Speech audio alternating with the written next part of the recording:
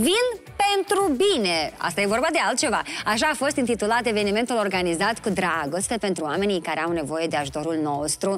Mai multe persoane publice din diferite domenii de activitate și-au dat întâlnire la o discuție de suflet și cu un scop nobil. Să vedem uh, ce alte detalii curioase a mai aflat reporterul nostru.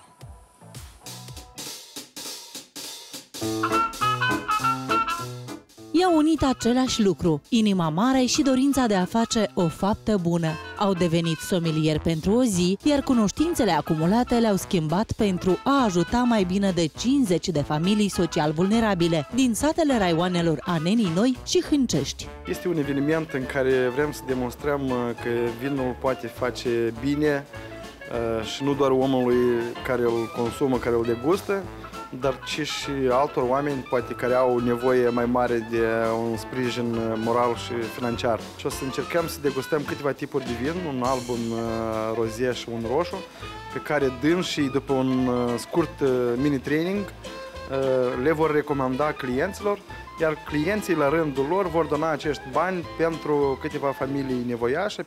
Evident, cu mari emoții, nu doar pentru că vor putea face pe cineva fericit, dar și pentru că au ieșit în fața publicului în acest rol. Eu am azi un rol foarte important, un rol de sommelier.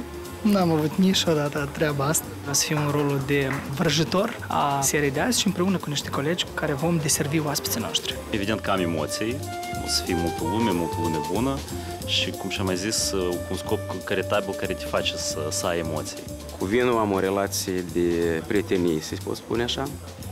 Iar cu caritatea, de fiecare dată când uh, am ocazie și ultimul timp destul de des, mă strădui să pun umărul la lucruri frumoase.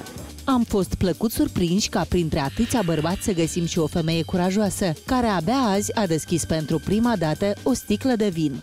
Ce poate să fie mai frumos atunci când se concentrează energia oamenilor buni pentru o faptă bună? Cei mai încântați de această experiență au fost invitații serii. Mă bucur enorm de mult să fiu parte acestui minunat eveniment, uh, cu așa lume frumoasă, lume frumoasă și la chip și la suflet, care ne onorează aici cu, pentru a ne servi. Îmi place să particip la astfel de evenimente, îmi place să fac oamenii fericiți cu tot ce am și nu am.